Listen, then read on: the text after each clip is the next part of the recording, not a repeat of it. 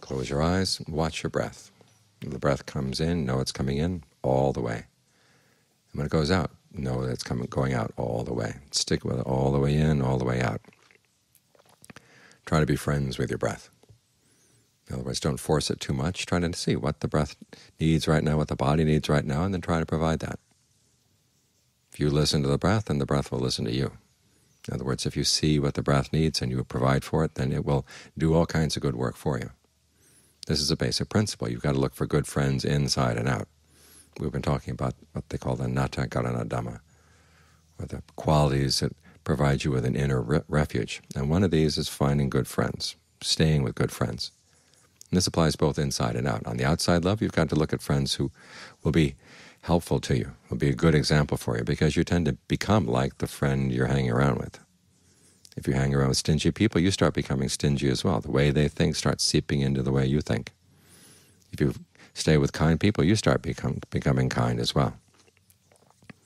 The Buddha said to look for four kinds of friends, people who are generous, people who have faith in the principle of action, in other words, who believe that their actions really do make a difference, that they have to be careful about their actions. That's a good example for you. People have faith, have faith or are generous, people who are, have virtue. They try not to harm others. They try not to harm themselves. That's a good example for you. And then those who have wisdom and discernment. In other words, they understand what's important in life and what's not, what has long-term value and what has only short-term value. If you hang around with friends like this, their qualities seep inside you.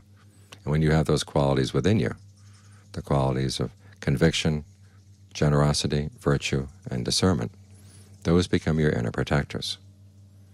It's the same when you meditate. You have to look at what kind of mind states you're hanging around with. While you're meditating here, you want to stay with your mindfulness, you want to stay with your alertness. These are your friends because they look after you. You don't want to go running off with your greed or your aversion or your delusion. Because those are like false friends. They've come and they talk you into doing stupid things, and then when the consequences come, they run away. They're not going to take responsibility for your behavior. You're the one who's stuck with it. So you have to be very careful about which mind states you're hanging around with. Just because a thought comes into the mind doesn't mean you have to claim it as your own. It can just become just the firing of your neurons. Sends all kinds of weird thoughts to the brain. It's up to you to decide which ones you want to hang around with, which ones you want to feed, keep with you. Because those become your friends, and as with external friends, the friends you have inside are the ones that are going to shape your behavior. You become like them. If you stay with the whining voices in, the, in your mind, after all, you become a whiner. If you stay with the angry voices, you become someone who's very quick to be angry.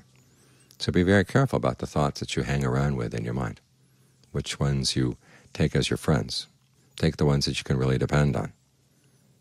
Thoughts of conviction, conviction and the principle of action, that what you do really is important. Thoughts of generosity, thoughts of being virtuous. In other words, doing the right thing regardless of whether it requires sacrifices. And then finally, discernment, how to find true happiness, a happiness that lasts inside. Those are your friends both outside and in.